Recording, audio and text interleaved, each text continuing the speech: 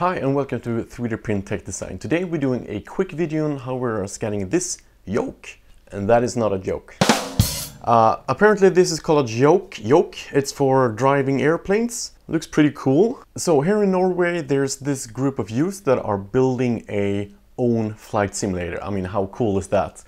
Uh, basically they're doing it with an old airplane, so they're using a real, uh, I think it's uh, some sort of Cessna, and they're building a platform to be able to make that move and in synchronization with software. They're basically building a real flight simulator. But basically when Victor asked me if I could 3D uh, scan this because they are printing a copy of this, they only have one of the yokes, they need one of the co-pilots.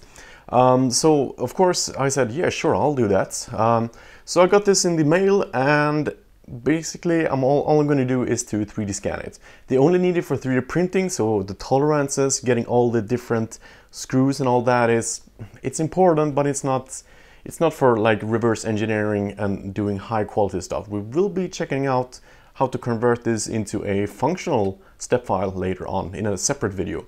But for now, all we're going to do today is to scan, get a good STL file that they can print a copy of. So to do that, I will be using the Thunk 3D Fisher S 3D scanner. I still have this from the review and if you're interested in this scanner you can check out the re review down below.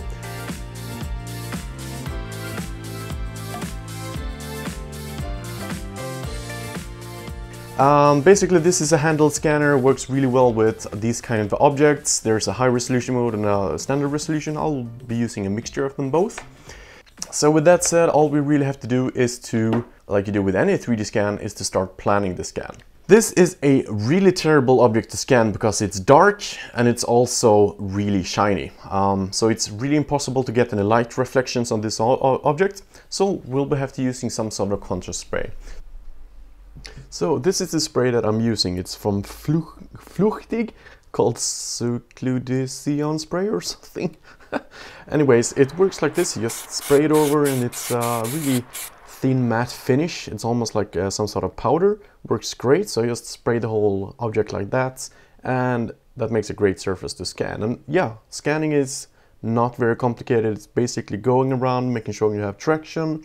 I'm using the papers down below to help with traction and avoiding using any reflective markers yeah, so walking around, I've shown that in a review. If you want to learn how to scan, you can check out that video. Basically, I scan all around the object from different angles. And in the result in, in the software, I basically only deleted everything that I didn't want to have.